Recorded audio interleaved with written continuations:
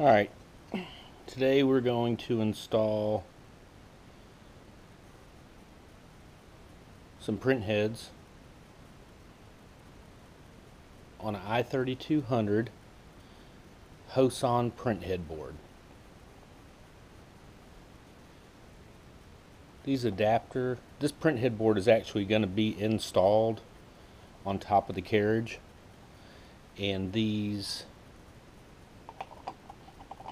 adapter cards are going to be installed on it. So what we're going to do first is we are going to take these adapter cards off very gently. Might have to wiggle them off and set these aside. now keep in mind the print headboard is installed in your printer. So we're going to take these off. Sometimes you have to remove the the top access panel on top of the printer to get to it. But this is only good for an i3200 head. If you have, and, and the way to identify it is to look at that head and it will say A1 in the corner. And you know you have an i3200 head. Genuine Epson head. So right here we're going to simulate the print carriage. So the back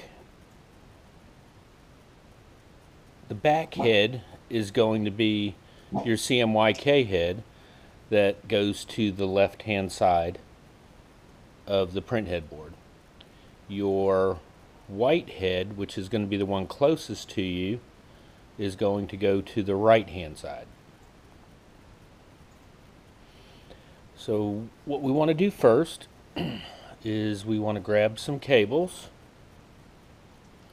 We want to inspect them and make sure that none of the edges are uh, frayed up. They're very sensitive. And what we're going to do on the writing side of each one of these cables, so if we ever have to take these heads apart again, or take them out, which we probably will, we'll know where they go. So we're going to label each side of the print head, the ribbon cable. So we will say right up, right up,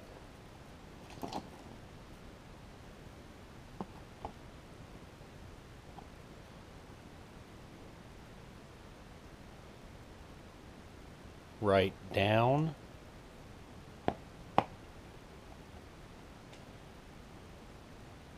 Right down. So I got it close to the close to the edge. We got our right side. And then we're going to do our left side. So it'll be left up, left up,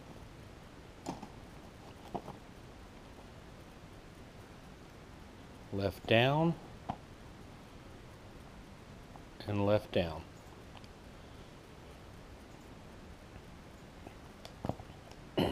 so on each one of these heads, we have a down and an up. On each one of these cards, we have a down and an up. Or I'm sorry, a down and a up.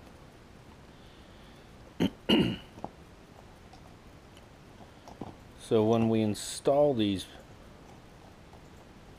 ribbon cables, the writing needs to go outward, blue to blue.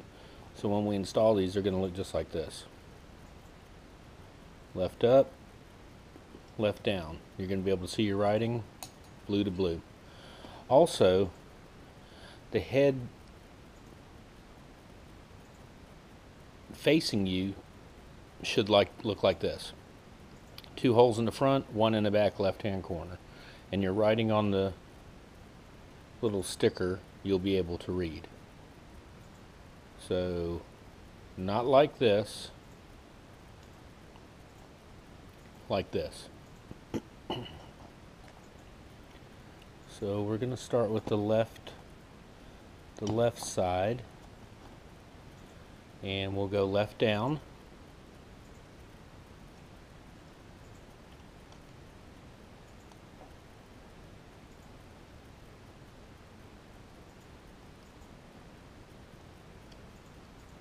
A little snap there.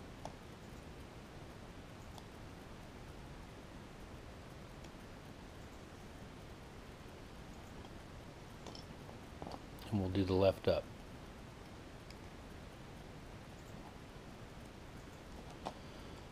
See how they're nice and straight?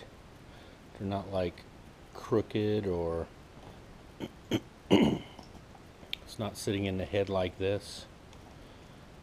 They look nice and flat. They don't look, you can't see the blue or that means they're snapped in correctly. So do the right side.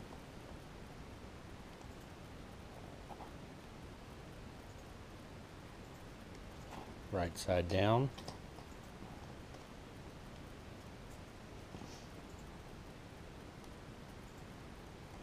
right side up. So we're going to use this one right here as our CMYK head. So these cards are, are marked up and down and will only go back into the carriage one way, into the carriage board, the print head board. See that notch? the notch will be facing away from you. So it just kind of fits right in there. So what we'll do next is left up we'll go to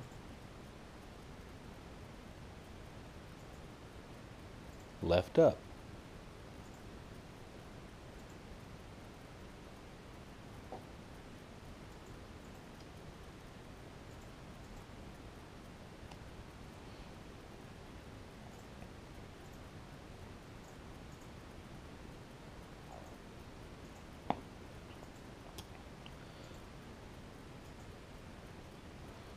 Left up.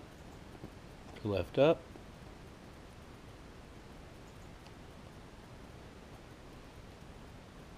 Left down to left down.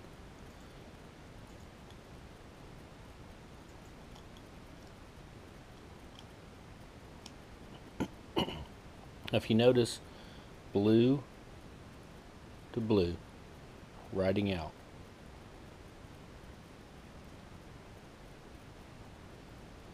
and we'll do the same with the right side.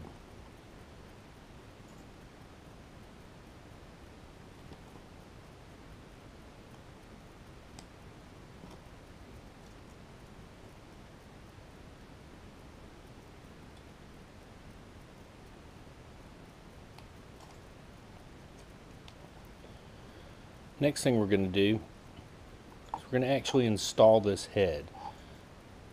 So take the three screws that are already in the carriage, you're going to take them out. And then we're going to put them in these three holes right here. Get them in there.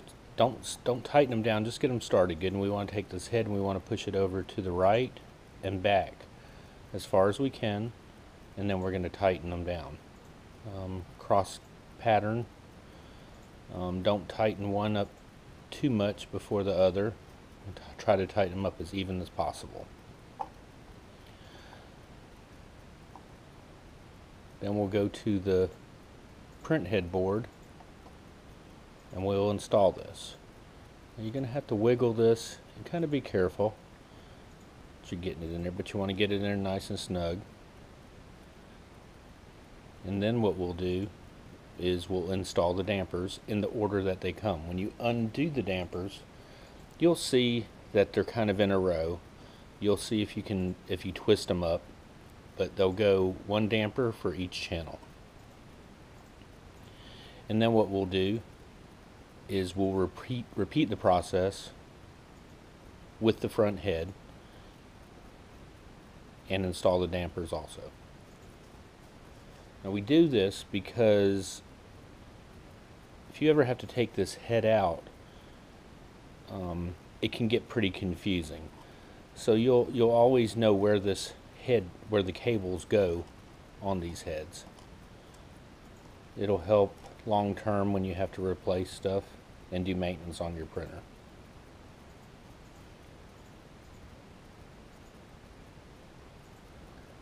Hope this helps.